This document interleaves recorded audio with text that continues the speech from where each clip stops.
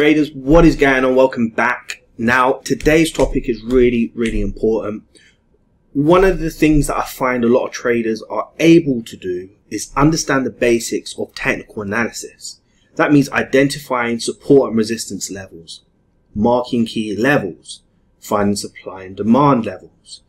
Are they all the same? Well, I guess so. Then they're also able to identify pin bars, wick rejections, engulfing candles and decision candles. Are they all the same? I guess so. But one thing they don't know how to do is bring them all together.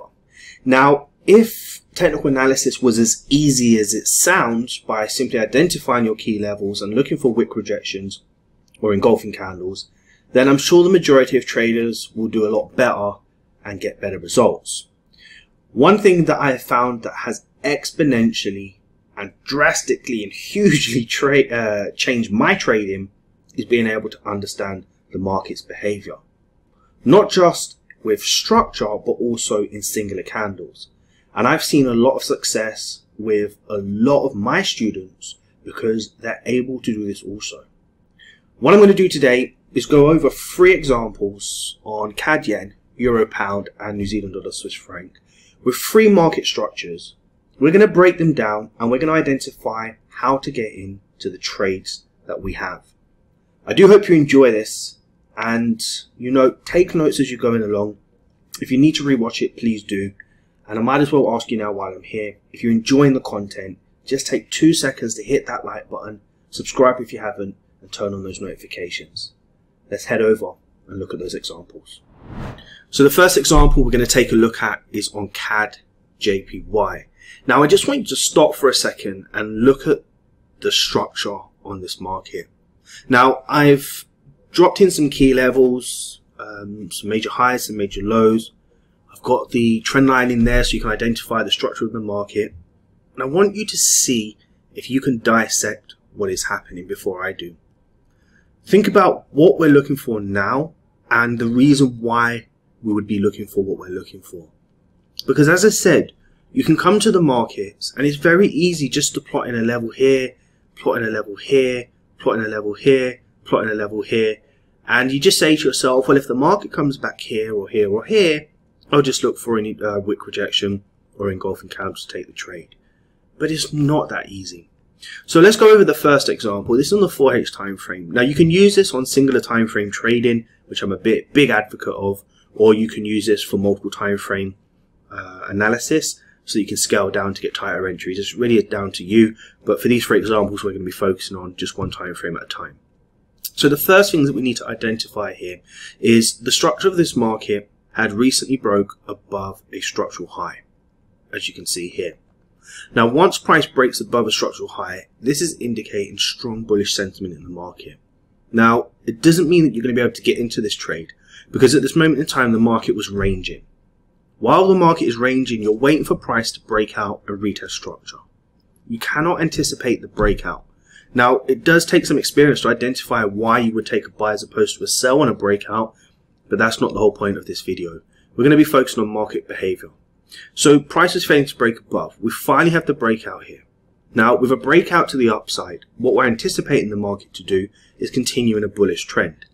Now, a bullish trend forms higher highs and higher lows, so at that stage, once we start to identify the market creating a key level, we're anticipating the market to create the higher low that will eventually make the new higher high. Now, we can clearly see that the market did not make the new higher high.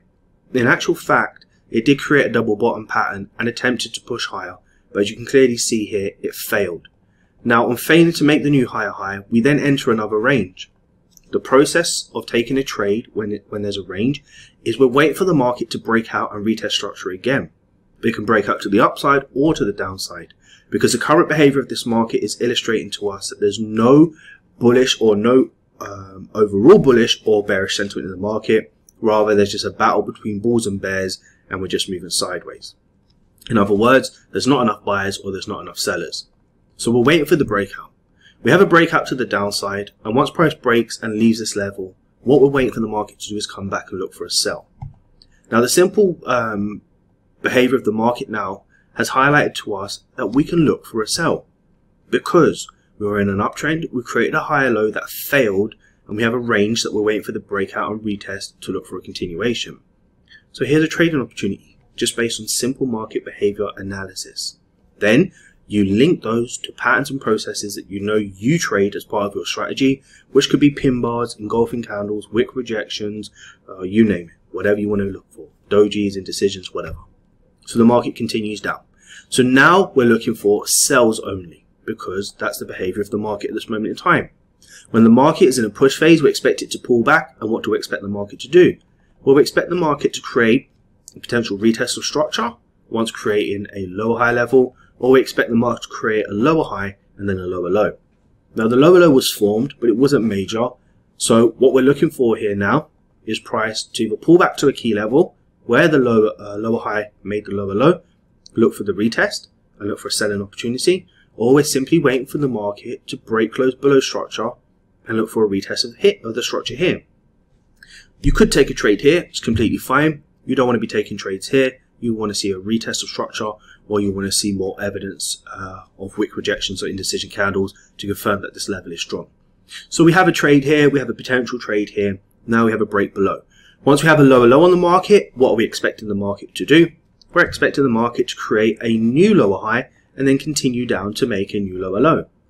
As you can clearly see with this example, price failed to make a new lower low, price failed to make new highs, and what do we enter again? We enter a range. The behavior of this market is neither indicating to us that the bulls are involved or the bears are involved and there's just a tug of war. So at this stage, we're just waiting patiently for the market to do the same thing as we was waiting for up here. We'll wait for the market to break above, retest continue higher, or break below, retest continue lower. We can see in this instance, again the market broke out, didn't create a retest, but on the way up, it started to react from the level to the left. The question is this. Can you take sells at this level? Based on the behavior of the market being sell bias, making a new lower low, a new lower high, failing to make a new lower low, which is a depletion of bears in the market, a breakout of structure and a consolidation indicating bulls are stepping into the market and a strong momentum shift up with the sentiment of bulls in the market, should you be selling this level? The answer is no. Even though it's come back to a key level, you cannot sell it because the sentiment is bullish and the behavior is bullish. So you must wait patiently for price to respect the level that it's created or wait for a new lower high.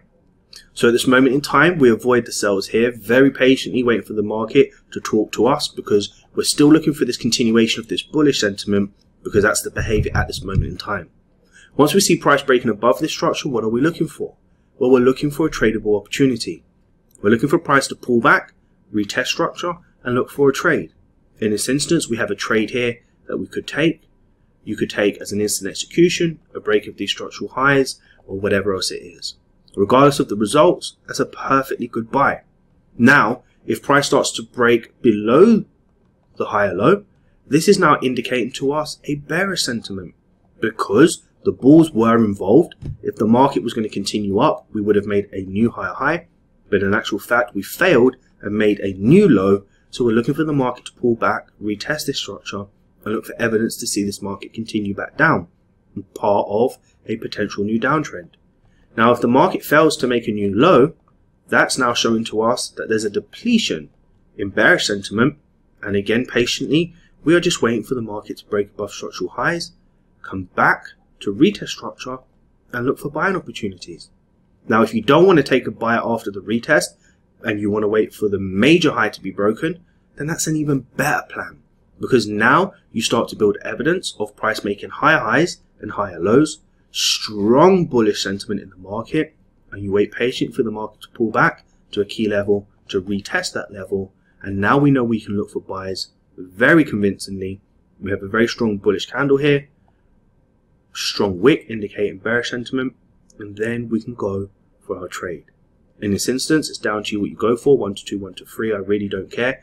Um, use your strategy and uh, your risk management plan to make a decision how you take this trade, but there you go. Now, the trade won. Did Rockz pick out another winning trade? He absolutely did.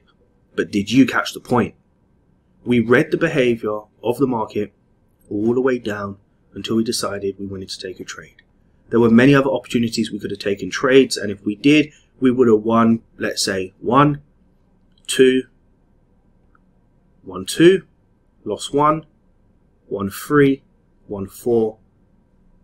There you go. Do the math yourself. That's example number one. Here's euro pound. Example number two. Just very quick analysis here. The market's pushing to the downside. We can see that it's breaking key levels of the market where it's failing to break for a long period of time. We're looking for the market to now create sell by structure.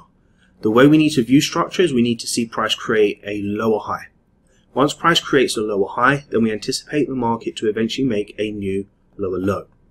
Now we can see the market started to trend down, creating new lower low and lower high structures here, but unfortunately, the overall structure did not create a new lower low.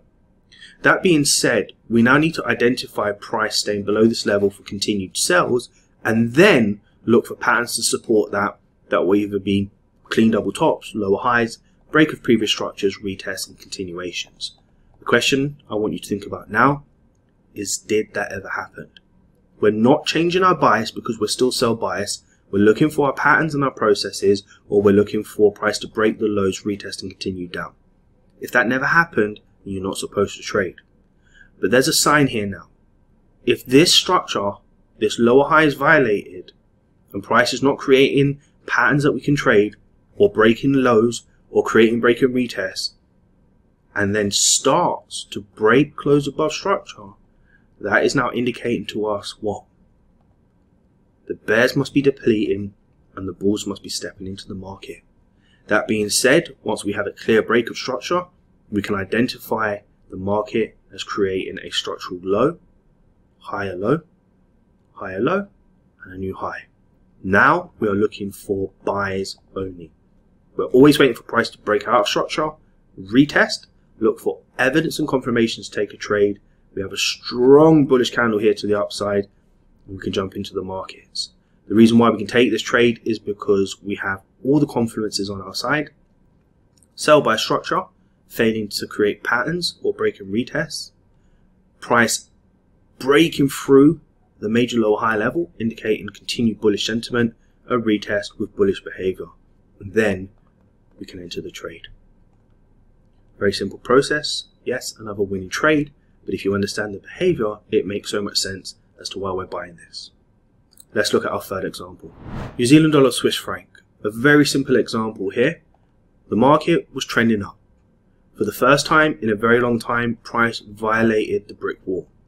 Once price violates the brick wall, we're anticipating price to make a lower high, and then eventually we're looking for the market to create a lower low. As you can see here, the market came back, creating a double top of this pattern, and then eventually creating the lower low. Once the market makes a lower low, what do we anticipate? The market to pull back and then eventually make a new lower low. The market did that. Now the sentiment of this market is not clearly trending down, but there's a lot to support why sell bias would be the best option at this moment in time. If we don't look at it as sell bias, then what we look at it as is the market is now ranging. The minute we have a tap at the top or two taps at the top, and two taps at the bottom, we can say we're ranging. Now we never got the second tap here because price obliterated this structural low.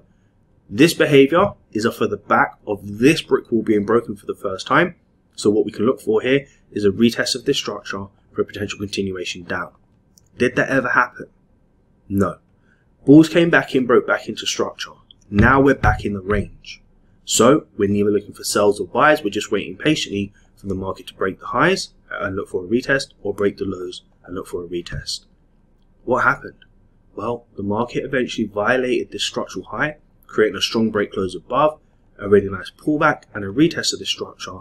And based on the behavior of this structure here on New Zealand dollar Swiss franc, we can safely say that buyers will be our best option because we have our patterns, we have our processes, we also have the confluences that we need to enter this trade and the behavior to support that.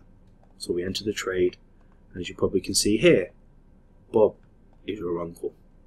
So take a look back at those three examples, go through this again, understand how we're breaking down the behavior of the market first, supporting that with evidence, and then finding the confluence. So I hope you enjoyed that video, family. And uh, yeah, all I can say to you is just keep striving to do your best. I personally would say put in a good amount of hours, go over 100 trades, backtest a few charts, see if you can read the market's behavior and really understand it. Once you can do that and you can add your patterns, your processes, your evidence and your confirmation to your ability or with your ability to read market structure, I'm telling you, it's going to be a game changer. You're not going to win them all, but you don't need to win them all. 30%, 40%, 50% right, and you are laughing all the way to the bank. Just manage your risk and just trust the process. Anyway, until next time, family, continue to trust the process.